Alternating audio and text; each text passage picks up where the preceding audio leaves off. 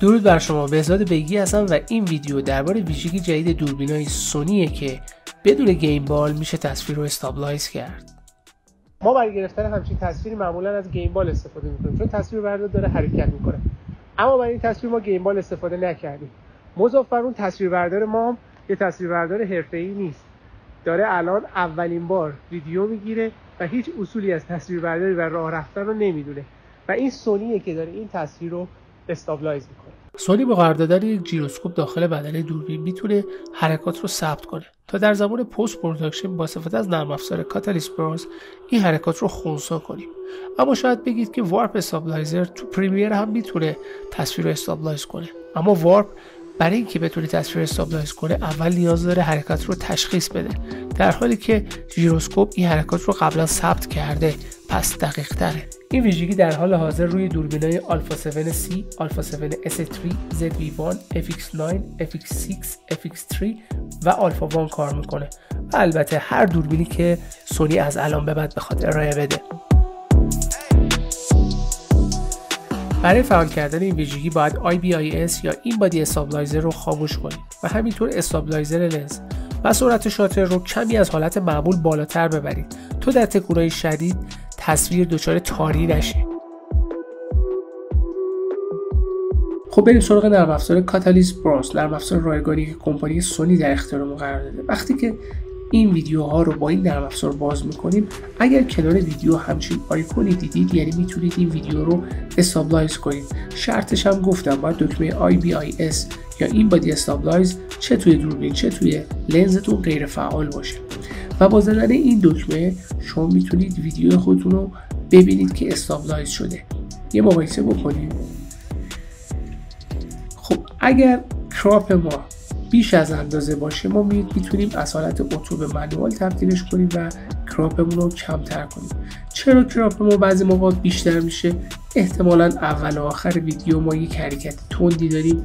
به خاطر همین نرم افزار میاد اون کراپ رو بیشتر می‌کنه ولی توی ویدیو خاص به نظر من با کراپ 90 درصد هم کار ما راه میفته ببینیم.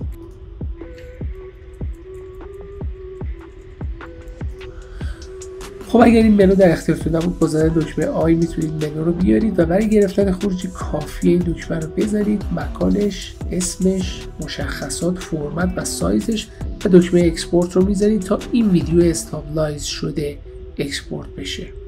قطعا تا حالا متوجه شدید که stabilize کردن تصاویر با استفاده از ژیروسکوپ هم سریعتر از effect Warp Stabilizer ه هم دقیق تر اما دلیل استفاده من از این امکان این دو مورد نیست. یک سری تصاویر هستند که دوربین ما focus لازم رو ندارن. پس effect Warp Stabilizer نمی‌تونه تشخیص بده تکونهای تصویر رو و درست عمل نمی‌کنه. یا در موارد دیگه حرکت های خاص دوربین رو افکت وارپ استابلایزر نمی‌تونه درست استابلایز کنه و دچار کشیدگی و یک جور حرکت ژله‌ای میشه تصویر ما. به این مثالا دقت کنید.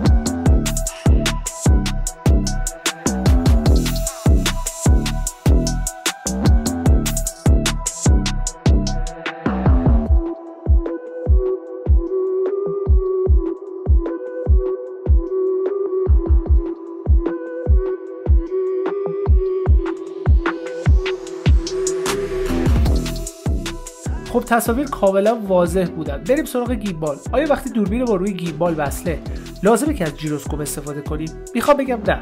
تا زمانی که خود gimbal به اضافه سیستم IBIS دوربین می‌تونه لرزش ما رو بگیره لازم نیست سراغ gyroscope برید وقتی که دوربینتون رو روی gimbal نصب کردید. اما به طور مثال تو دویدنهای بسیار شدید که ممکنه gimbal و دوربین شما خیلی تکون بخوره بهتر gyroscope رو یه تست بزنید.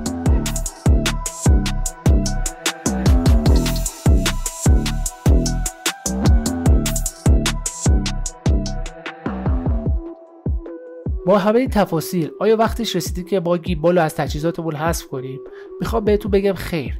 چون با استفاده از gyroscope شما در نهایت نمی‌دونید چه مقدار از ویدیوتون قراره crop بشه. همینطور شما motion blur رو تو ویدیوتون از دست دادید چون مجبور شدید مقداری سرعت شاتر رو بالاتر از حد طبیعی ببرید. از اونور شما دو نسخه ویدیو stabilize شده و stabilize نشده مجبورید توی هاردتون ذخیره کنید که هم زمان زیادی صرف میشه هم خب مقدار هاردتون بیشتر مصرف میشه. اما باید بدونیم با این ویژگی جدید دوربین های سونی تصاویری رو الان می‌تونیم ضبط و stabilize بکنیم که قبلا به هیچ وجه نمی‌تونستیم انجامش بدیم. خب امیدوارم این مطلب براتون مفید بوده باشه. لطفا من رو از اشتراک لایک و کامنت خودتون محروم نکنید. دکمه سابسکرایب هم بذارید تا ویدیو بعدی رو از دست ندید خدا نگهدار.